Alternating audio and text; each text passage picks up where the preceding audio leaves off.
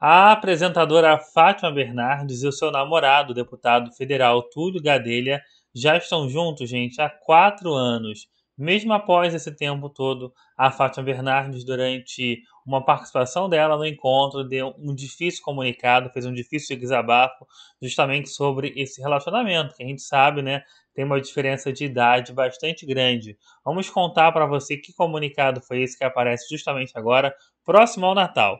Antes, um recado rápido para quem ainda não é inscrito aqui no canal. Para fazer isso é rápido, fácil.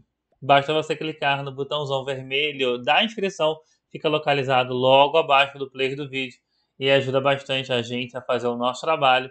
Eu agradeço sempre a você que está aí do outro lado.